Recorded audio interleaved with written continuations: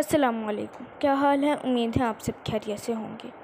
मेरी दुआ है, अल्लाह पाक आपको खुश रखे। मेरी जो आज की वीडियो है, वो आपको बहुत पसंद आएगी।